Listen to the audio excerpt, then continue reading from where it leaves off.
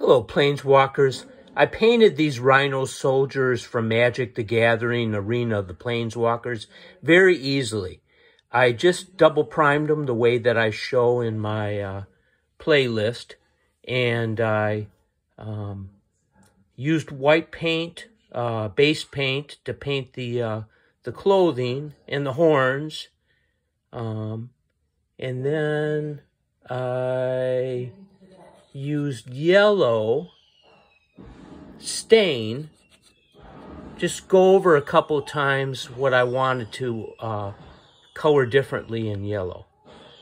Obviously, the base still needs a little bit of work because the original yellow still shows through. Sorry about the TV in the background. I should have closed the door.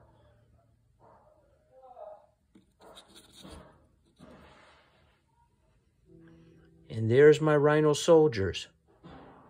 So just real easy, white base paint, yellow stain, and then the double prime, uh, the double priming method of gray and then a little bit of white highlights. And that's how you do it. Thanks, Planeswalkers.